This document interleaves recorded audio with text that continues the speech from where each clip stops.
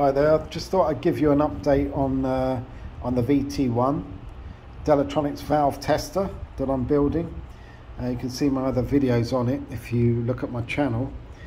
This board here is responsible for the bias.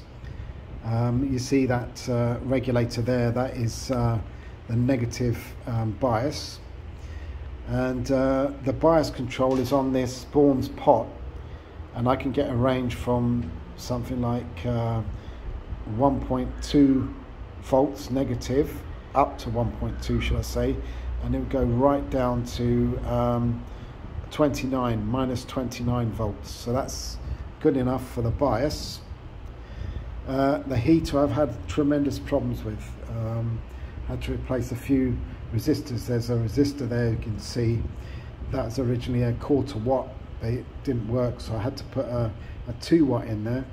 I had to also um, uh, swap the values. Um, if you look at the data sheet for the LM338 if you look at the data sheet it says that um, 240 ohms or 270 ohms can go there but I found best results with uh, 120 ohms so that's what I put in there.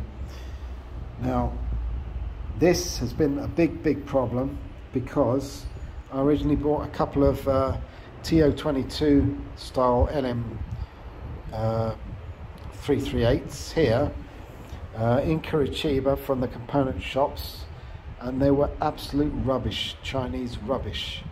And um, I turned this on with just one element connected. You see it's connected there to um, yeah, it's still still glowing. It's connected there to pin 4 pin 4 is one side and pin 5 is the other. So you connect the negative to pin 9 and the positive to pin 4 on for one side the positive to pin 4 on the other side. Or you you short pin 4 and pin 5 out to have both elements on simultaneously.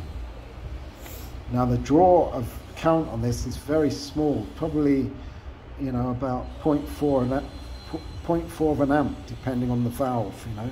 Uh, I think the, the most um, drawn probably is something like an EL34, which approaches up to one and a half amps, I believe.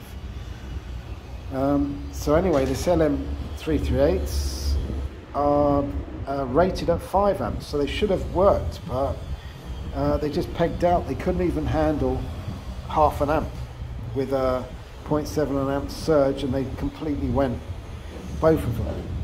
So I was a bit disgusted with that and I checked my circuit many times to see if I'd made a mistake and I hadn't.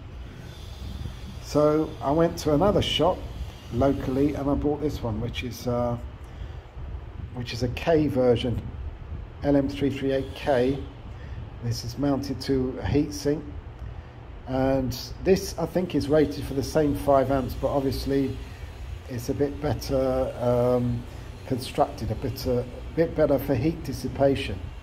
Now this worked on one side, fine. As soon as I connected both the elements up, which should only have taken a maximum of less than an amp, this blew and I had 30 volts on the, on the output which obviously doesn't do the valve any good but it didn't blow it up in this case because I was quick to spot it. Absolutely terrible. So basically everything that I'm buying now in Curitiba from the town centre is fake. And I've looked at the, the codes and everything and the printing and I found the same items on AliExpress for virtually nothing. You know, um, three quid for 10 or something like that. So they're buying these things in very cheap from AliExpress and they don't work at all. So what did I do? Well, um, I'm thinking of using uh, LM317, which is only rated for one and a half amps, which isn't going to be good enough for an EL34 heater. Um, it probably would be good for everything else. Um, but what I'm going to do is I'm going to buy a 2N3055 transistor, put it in the circuit in order to take away some of the current from this.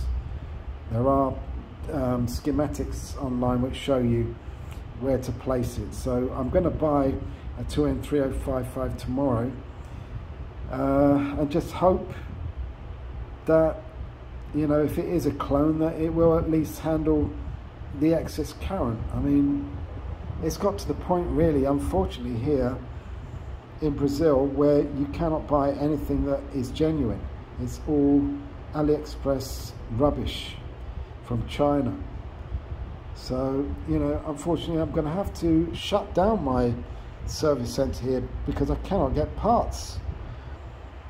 Um, I could order them from RS and Farnell in the UK and have them shipped over, but it's just too much hassle, really. So I'm going to shut this down here. There's several things going on in Brazil at the moment politically, which aren't good as well.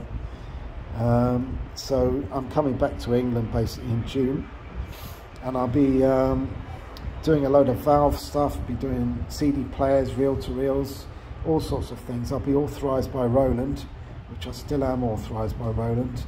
And I'm just going to start up Delatronics again. It might take me a few months to get into it, but I will be back. So watch this space. As for Brazil, I love the country Brazil, but um, at the moment it's not a good place potentially to live the future because uh, it looks like it's going to go communist here, unfortunately, because of our lovely president.